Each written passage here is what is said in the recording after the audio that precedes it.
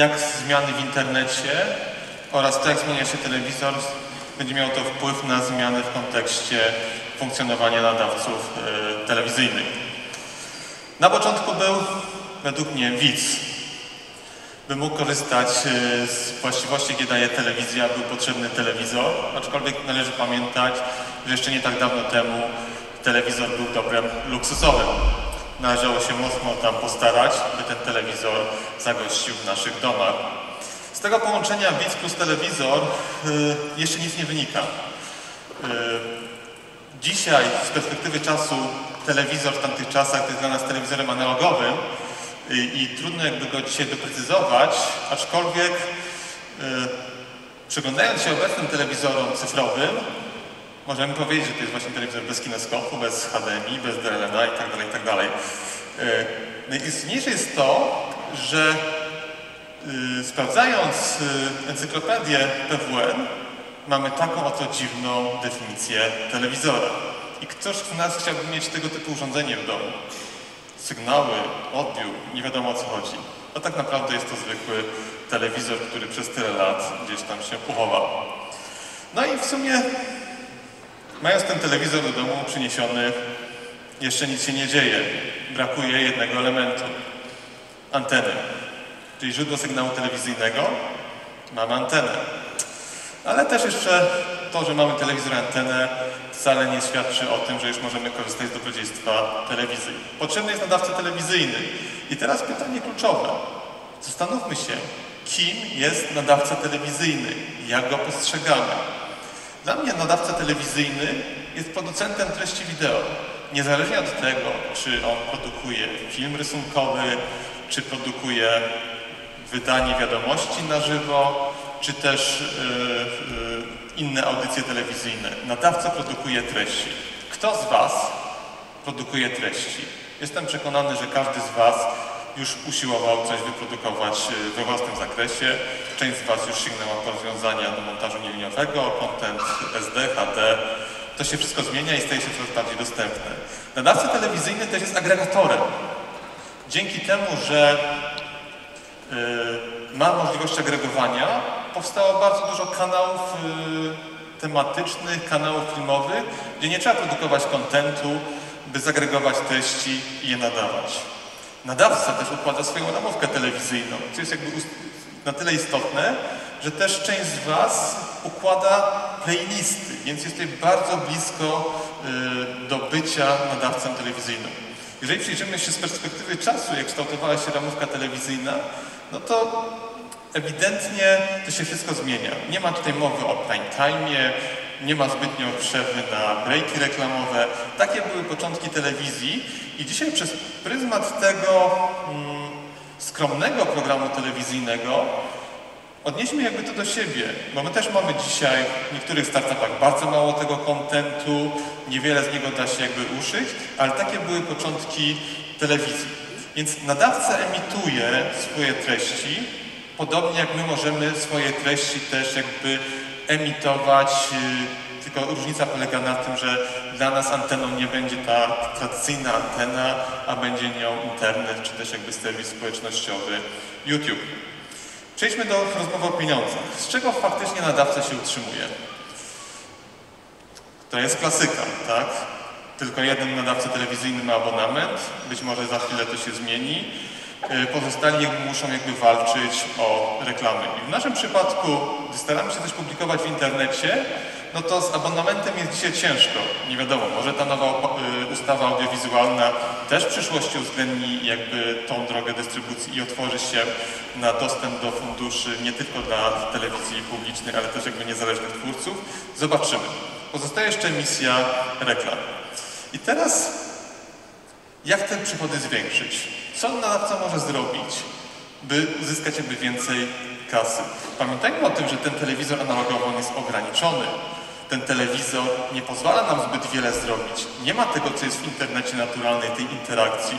Mamy tutaj po prostu tubę, gdzie trąbimy w jedną stronę, od do, bezpośrednio jakby do widza. Mi to przypomina tego typu scenę.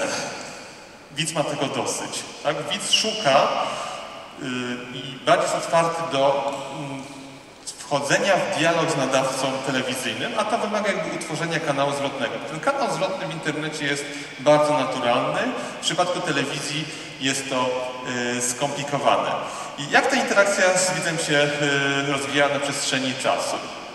Specjalnie umieściłem tą skrzynkę pocztową, ten tradycyjny telefon i ten smartfon, by pokazać, że ta interakcja u nadawcy telewizyjnego rozwijała się z czasem, by teraz wkroczyć w tą fazę, o której była mowa y, wczoraj, gdzie do tej interakcji będzie używany bezpośrednio Twitter, social media jako narzędzie y, kontrolowane bardziej przez y, użytkowników niż samego nadawcę telewizyjnego. Wracając do poszukiwania jakby finansowania, to są jakby te dodatkowe elementy, w ramach których możemy pozyskiwać dodatkowe przychody z punktu widzenia nadawcy telewizyjnego. One są o tyle istotne, że nadawca sięgając po te nowe rzeczy będzie musiał gdzieś po drodze uwzględniać rozwiązania internetowe. Ale to nie są wszystkie rozwiązania. Jest jeszcze coś takiego jak kanał tematyczny. Coś wspaniałego dla nadawcy telewizyjnego, bo mając jeden kanał telewizyjny, może na bazie, tego treści, na bazie tych treści je mnożyć, mnożyć i jeszcze raz mnożyć. W sumie aż dochodzimy do takiego pytania, ile w zasadzie mamy kanałów telewizyjnych w Polsce i jak je policzyć. Możemy liczyć polskie kanały telewizyjne, ale musielibyśmy wertować, y, kto stoi za finansami. Tego się nie da policzyć. Możemy liczyć polskojęzyczne kanały telewizyjne, tutaj też będzie dość ciężko. Ja postanowiłem wykonać pewien eksperyment, mianowicie postanowiłem przeanalizować, jak to wygląda na polskim rynku. I to jest przykładowa kartka, która wisi sobie na klatce schodowej, gdzie nadawca telewizyjny, yy, operator telewizji kablowej, jeden, drugi chwali się, ile to ma kanałów telewizyjnych i patrząc na te ulotki, trudno zdecydować, która oferta jest lepsza. I postanowiłem zrobić następujący ruch. Zebrałem informacje o wszystkich kanałach telewizyjnych, które są dostępne operatorów telewizji kablowej, wrzuciłem to w jedną tabelkę i wyszło mi coś takiego, że około mam 194 operatorów telewizji kablowej i pra w prawej skrajnej części jest informacja o tym, u ilu operatorów dany kanał telewizyjny jest dostępny.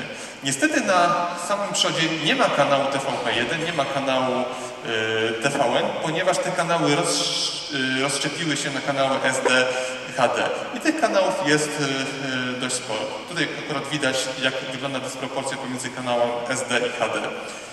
Jest tych kanałów jakby y, dość dużo.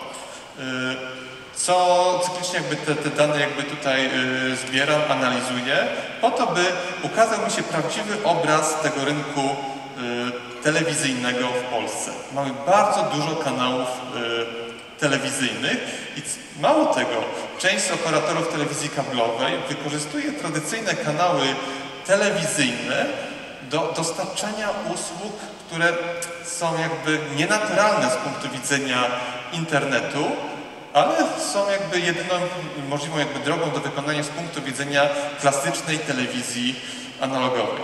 No i takim przykładem jest na przykład wykorzystanie y, kanałów y, telewizyjnych do budowania autopromocji. I tutaj na przykład UPC wygospodarowało w swojej sieci kilka kanałów telewizyjnych, żeby promować inne kanały płatne. Inny z operatorów wykorzystuje kilkanaście kanałów telewizyjnych, by budować usługę VOD, co jest jakby nie do pomyślenia w czasach jakby związanych z funkcjonowaniem y, serwisów wideo na żądanie. Niestety tak to y, wygląda. I tych przykładów jeszcze można mnożyć, mnożyć, mnożyć. Y, ciekawostką jest też to, że w przypadku nie tylko korzystania z serwisów VOD, ale mamy też jakby rozwiązania bazujące na przesunięciu kanału o godzinę, dostosowaniu go do jakby wstępnych preferencji widza i kończymy gdzieś tak na pozycji tam prawie 700 kanałów, gdzie nawet kanał ma lokalna parafia, lokalna spółdzielnia mieszkaniowa. Może z naszej perspektywy jest to nieważne i bez sensu, ale dla tej lokalnej społeczności przed wyborami jak znalazł. No dobrze, podsumowując to, doliczyłem się mniej więcej tylu kanałów y, telewizyjnych y, w Polsce, co stanowi no, dość ciekawy potencjał do przetrwania tego całego rynku telewizyjnego w dobie rozwoju y, internetu. Może kilku nadawców padnie, może kilka kanałów zniknie, ale jest ich tak dużo, a z drugiej strony tak mało. Jak porównamy te liczby do liczby kanałów na YouTubie, no to jest jakby kropla w morzu. W wielu bajkach pojawia się motyw, tysiąc kanałów, nic do oglądania. No niestety tak jest. Bardzo trudno trafić na odpowiednie treści o odpowiedniej porze. Mało tego, ten cały świat telewizyjny funkcjonuje na badaniu oglądalności poprzez system telemetryczny. System telemetryczny jest zainstalowany kilku tysiącach gospodarstw domowych i on działa na tej zasadzie, że przez całą dobę jest nasłuchiwany dźwięk z telewizora, i potem ta próbka dźwięku jest porównywana z systemami e, emisyjnymi od danego nadawcy i na koniec dnia jest wyliczane kto o której godzinie oglądał telewizji, telewizję w ramach tej próbki widzów, potem jest to estymowane, przeliczane i tak e, mniej więcej mierzy się oglądalność e, dzisiaj w telewizji. To jest zupełnie coś innego niż my dzisiaj na co dzień mamy w kontekście internetu, w przypadku jakby statystyk z Google Analytics, innych logów. Tego nie ma. Telewizja żyje w zupełnie innym świecie. I przejście od tego systemu mm, telemetrycznego do prawdziwych logów dla wielu nadawcy telewizyjnych jest bardzo trudne. A gdyby tak nieco zmienić funkcjonowanie telewizora i go po prostu podłączyć do internetu, wtedy telewizor nie dość, że będzie dla nas jakby takim systemem jakby telemetrycznym, mało tego, da nam bezpośredni yy, kontakt, kanał zwrotny pomiędzy widzem yy, a nadawcą, właścicielem treści. Telewizor będzie się zachowywał podobnie jak dzisiaj komputer, jak przeglądarka internetowa. Będziemy mogli śledzić każdy ruch. I w ramach tego udało mi się doprecyzować trzy typy usług. Yy, sprawdzając treści w Wikipedii, one zostały wrzucone tam do jednego worka. Ja je rozdzielam. Mianowicie, jako Smart TV rozumiem właśnie te treści, które zostały dostosowane do telewizora, gdzie została dostosowana nawigacja. Możemy sobie spokojnie usiąść na kanapie, wziąć piwo, chipsy i po prostu cieszyć się jakby tą usługą. Tak to mniej więcej dzisiaj Smart TV funkcjonuje. Im bardziej ta aplikacja wpisuje się w jakby siedzenie 10 metrów od telewizora, w cudzysłowie, y, tym lepiej jakby to funkcjonuje, są lepsze jakby y, wyniki dotyczące oglądalności tych aplikacji. W przypadku telewizji hybrydowej jest podobnie, tylko kwestia jest jakby odnośnie yy, diabeł tkwi szczegółów, tak? Jakby kilku drobnych szczegółów. Czym się zatem różni HBBTV od Smart TV? Znalazłem następujące różnice. W przypadku Smart TV to producent telewizora decyduje o tym, czy naszą aplikację wpuści, to producent telewizora certyfikuje aplikację. W przypadku HBBTV piłka jest po stronie nadawcy telewizyjnego. Jest, są większe możliwości, a też jest większe niebezpieczeństwo. Ale tu jest jakby drobna różnica. Kolejna różnica. W przypadku Smart TV każdą aplikację przygotujemy oddzielnie na telewizor. HBBTV y, jest tyle otwartym standardem, że możemy przygotować jedną aplikację telewizyjną, która będzie dostępna na większość telewizorów. Oczywiście są drobne różnice w implementacji tych rozwiązań i trzeba mieć niesamowicie dużą cierpliwość, znacznie większą niż do trójki dzieci, odnośnie przeprowadzenia y, pozytywnego wdrożenia aplikacji na telewizory z HBBTV. Jest to trudne, ale nie jest to niemożliwe. I mało tego, te aplikacje są dostępne potem y, na wszystkie telewizory. I tutaj dochodzimy do, takiego, y, do takiej ciekawej sytuacji, mianowicie, jeżeli przyjrzymy się całemu jakby rynkowi Smart TV, to można powiedzieć, że HBTV jest nie na rękę dla producentów telewizorów, szczególnie dla jednego. Dla pozostałych, którzy mieli słabo rozwinięte e, rozwiązania Smart TV, HBBTV jest jedyną szansą na dogonienie i zebranie jakby pakietu tych samych usług telewizyjnych e, względem jakby innych producentów. Ci producenci, którzy wspierają HBBTV, bardziej wolą jakby mieć wyrównane szanse w kontekście dostępu do usług i wolą się ścigać na design, cenę, wygląd tego telewizora, niż na zawartość oprogramowania. Jest jeszcze Connected TV.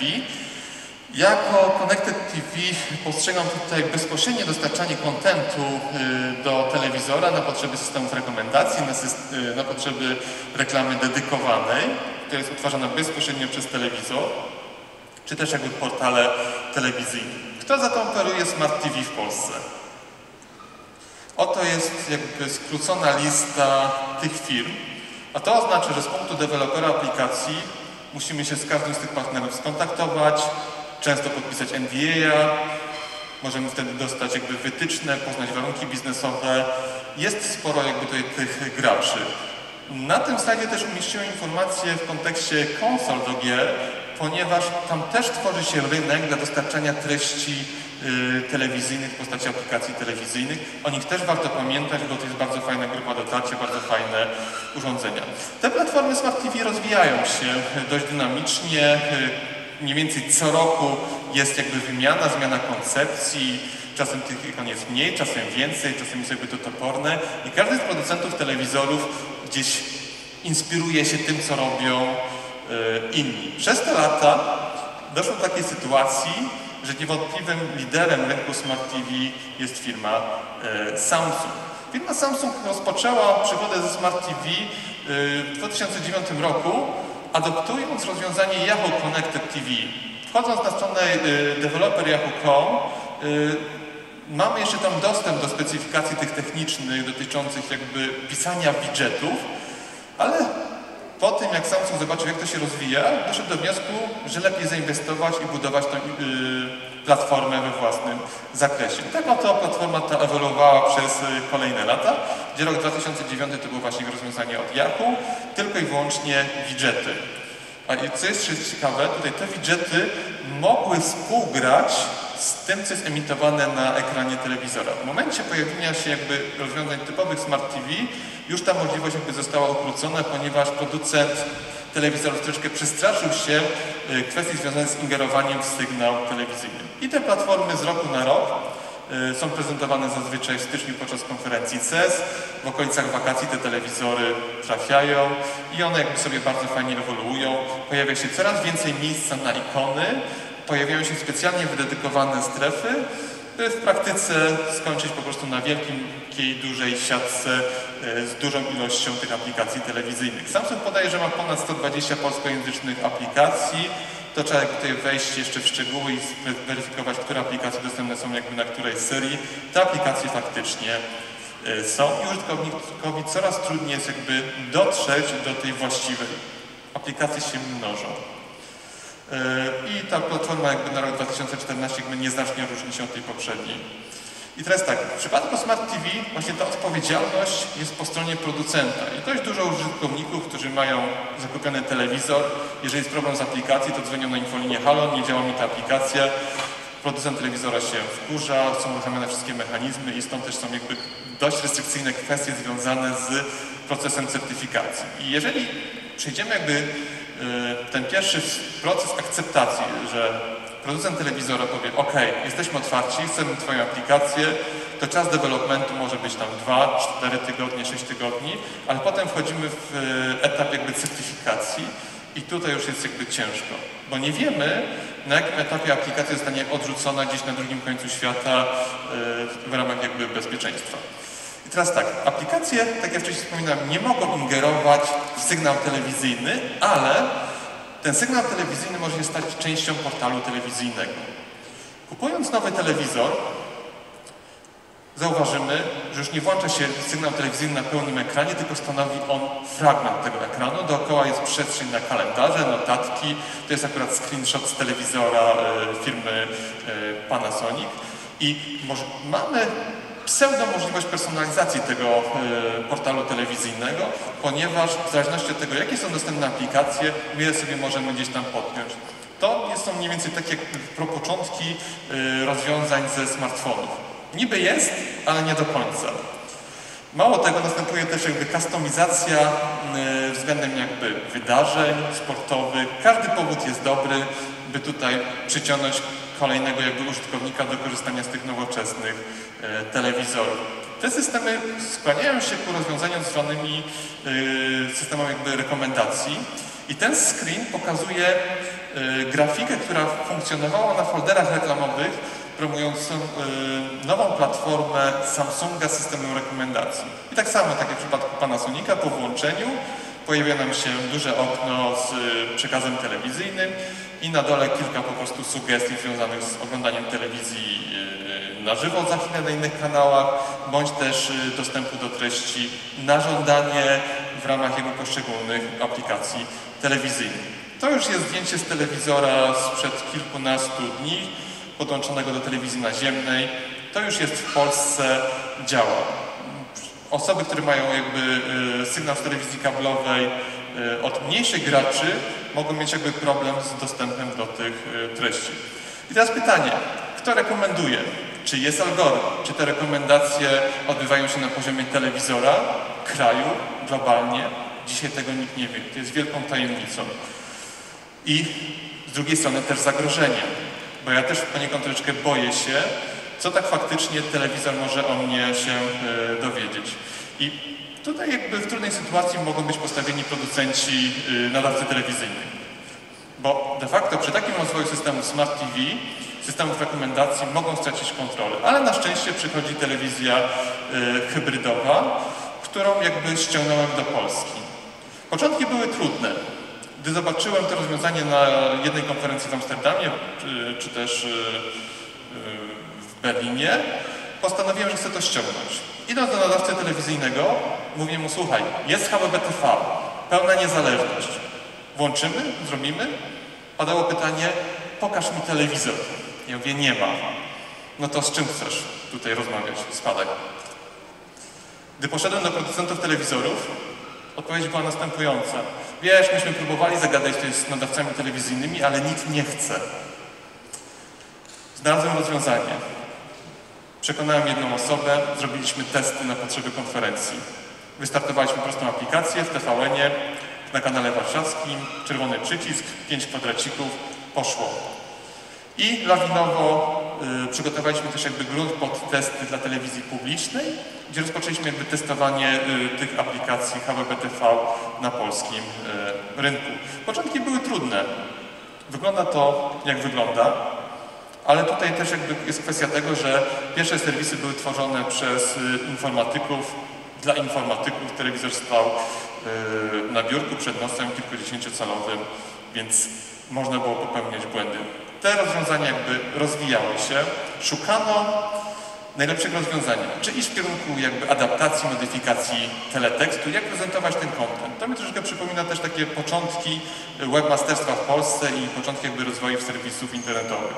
Uczono się w jaki sposób te serwisy zajawiać na ekranie, w jaki sposób budować e, menu i z każdym miesiącem, z każdym tygodniem przybywała liczba telewizorów, które jakby wspierały. Ostatnia liczba to jest ponad 350 tysięcy aktywnych urządzeń, które już jakby korzysta z tego typu rozwiązań Polsce, aż udało się wypracować to, co jest jakby dzisiaj dostępne na kanale telewizji polskiej. Mało tego, SKTV też jakby szła swoim tropem, budując jakby po kolei swoje własne rozwiązania, też szukając gdzieś inspiracji w teletekście. Nawet były strony do wyboru, wpisz 300, to zobaczysz taką treść, wpisz 400, no ewidentne cofanie się. Wdrażając HBBTV byliśmy pionierami na rynku europejskim. To jest slajd przed y, dwóch lat, gdzie y, w przypadku Wielkiej Brytanii tam jest inne rozwiązanie y, MHEC 5 i oni się zastanawiają, co z tym zrobić, ale przez te dwa lata poszło jakby lawinowo jesteśmy jakby w czołówce krajów jakby europejskich, w którym jakby HBBTV y, się rozwija. Dzisiaj HBBTV dostępny jest w tych oto następujących kanałach telewizyjnych w ramach DVB-T. Na tych kanałach oznaczonych kolorem niebieskim były prowadzone testy HBBTV. Być może ta usługa wkrótce zawita. SKTV rozwinęła te serwisy, wyglądają bardziej multimedialnie, mamy dostęp do treści wideo, mamy wideo na żądanie z tym kontentem, który posiada SK. Mało tego, nawet kanał telewizyjny Focus TV wchodząc na polski rynek też startował y, z treściami jakby w HBBTV y, na dzień dobry. Tak? Więc jakby te serwisy dynamicznie rozwijają się i w przypadku grupy medialnej ZPR HBBTV jest jakby traktowane bardzo poważnie, mimo tego, że jakby też jeszcze nie udało się wypracować y, dobrego podejścia do publikacji treści jakby e, tekstowych, tak, z magazynu. Tutaj jeszcze jest dość sporo do zrobienia. W przypadku Polo TV udało się skopiować rozwiązanie z SKTV i aplikacja SKGO też jest dostępna na tym kanale, więc niezależnie od tego, co to jest za kanał telewizyjny, te treści można dostarczyć. I teraz pytanie, gdzie my z tymi rozwiązaniami jesteśmy? Ja postrzegam, że to, co się dzisiaj dzieje w telewizorach w kontekście HBBTV, to jest takie troszeczkę e, kilka miesięcy po premierze tej Nokii e, po prawej stronie, gdzie to są jakby początki. Jak popatrzymy sobie, jak się zmienił świat usług mobilnych, to jestem przekonany, że wkrótce zmieni się jakby rozwiązanie w kontekście e, tych telefon, tele, telewizorów e, z HBBTV. I teraz chciałem jeszcze pokazać wizualizację reklamy w HBBTV. Poszliśmy krok dalej. TVP zapytał mnie się, w jaki sposób można przygotować reklamę. Reklama została jakby przygotowana. I generalnie takie było założenie w kontekście jakby tej reklamy. Ładnie poukładać jakiś kod QR. I to, co udało nam się zrealizować w tym tygodniu, pojawił się Ford na tych telewizorach, które wspierają HBTV. On wjeżdża i ten yy, serwis jakby funkcjonuje i dość dobrze działa. I to jest mniej więcej przykład z telewizora. I to jest mniej więcej w takim czasie rzeczywistym, że to się wszystko ładuje przez internet, wyświetla się film, film może być powiększony, działa licznik. To jest wszystko na bazie jakby HTML. Lećmy dalej. Smart TV w Polsce. Polsat. Trzy lata temu wchodzi w temat Smart TV, pojawia się IPLA. Prosty schemat jest. IPLA się rozwija, kuje w oczy TVN, TVN uruchamia TVN Player, podnosi poprzeczkę, IPLA modyfikuje swoją aplikację, jest multimedialnie, kolorowo, bardzo fajnie. Po chwili TVN wprowadza nowego TVN Playera. Następuje jakby tutaj rywalizacja. Polsat wprowadza kanały linearne na żywo. Jest y, troszeczkę zupełnie inne podejście do tej aplikacji, bo nie tylko VOD, ale też Live TV aplikacja robi za y, wirtualny set-top box. I w ramach tego wszystkiego TVN zmienia się w player i za chwilę zapewne zobaczymy e, zmianę w kontekście e, TVN Playera. Czym się inspirować? BBC News. Uruchamiam aplikację w Smart TV, po oczach bije nam e, duża grafika. Odpala się jingle, odpala się automatycznie wideo w trybie pełnoekranowym, poruszając się strzałkami góra, dół, lewo, prawo, personalizujemy swoje treści. Zupełnie inne podejście do tematu Smart TV. Mamy poczucie budowania kanału telewizyjnego wirtualnego z poziomu aplikacji. Niezależnie, czy to są treści wideo, czy to są teksty, to żyje. Osoba wchodząca do pokoju może zobaczyć, o, znowu oglądasz BBC. Nie, to jest aplikacja. Fashion TV, podobnie. Uruchamiam aplikację, wideo w trybie pełnoekranowym, możliwość y, budowania tej playlisty i ta cała ramówka zostaje przesyłana do y, telewizora w kontekście tego, co chcemy oglądać, co będziemy chcieli oglądać. To się zmienia. Zupełnie inne podejście do tematu kanału telewizyjnego. Vivo wystartowało w tych krajach, jesteśmy też jakby w czołówce i znowu po starcie aplikacji tryb pełnoekranowy, odtwarza się kanał Live TV w streamingu, możliwość dostępu do treści wideo na żądanie. Zupełnie inne podejście do koncepcji kanału telewizyjnego. Aplikacja y, pracuje jako wirtualny kanał y, telewizyjny i moim zdaniem w przyszłości aplikacje zabiją kanały tematyczne. Spójrzmy na YouTube'a. YouTube zupełnie inne podejście. Mało się różni od tego, co pokazałem wcześniej na tych aplikacjach. Wystarczy, że YouTube doda jeszcze automatyczny start rekomendowanego kontentu i YouTube zaczyna funkcjonować jako nadawca telewizyjny. Tak, jestem przekonany, że telewizor jest i będzie wiodącym ekranem telewizyjnym. On będzie zawsze tym ołtarzem w mieszkaniu, względem którego będziemy jakby szukać treści. Oczywiście będzie on wspierany jakby przez second screen, gdzie y, wykorzystamy potencjał jakby tego urządzenia y, przenośnego, ale z drugiej strony też pytanie, czy dzisiaj ten second screen nie funkcjonuje w postaci strony www, w postaci Wikipedii, w postaci Google, korzystamy jakby z tego drugiego ekranu i to jest bardzo ciekawy przykład tego, jak y, Google TV usiłował to wszystko jakby mm, zintegrować w jedną całość. I tu mamy jeszcze przykład tego, jak ten second screen, czy Wasza aplikacja może współpracować z ekranem telewizyjnym w przyszłości. Kontroler, wielki ekran do pokazania kontentu w dużym ekranie. Multiscreen.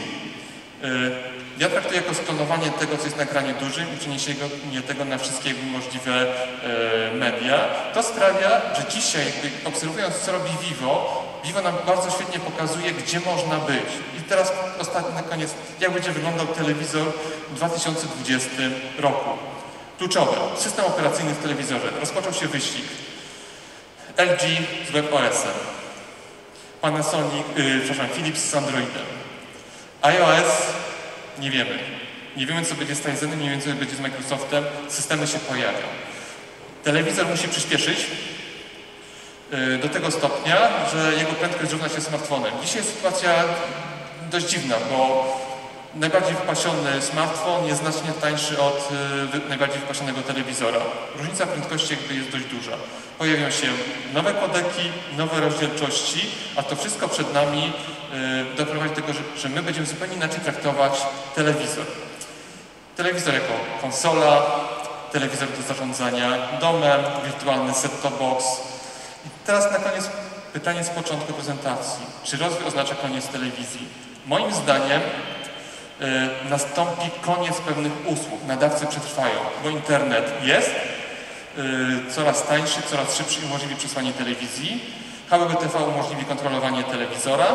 Będziemy w stanie zastąpić y, kanały tematyczne linearne aplikacjami. Znikną zbędne usługi. Zatrze się granica pomiędzy tymi wszystkimi usługami i nadawca zmieni jakby swoje postrzeganie. Nadawca będzie kreatorem wydarzeń. Nadawca będzie nadawał będzie tworzył tą treść. I teraz pytanie na koniec. Czy wy jesteście gotowi do zagospodarowania tego ekranu? Czy jesteście gotowi na przyszłość i na nową definicję telewizji? Dziękuję.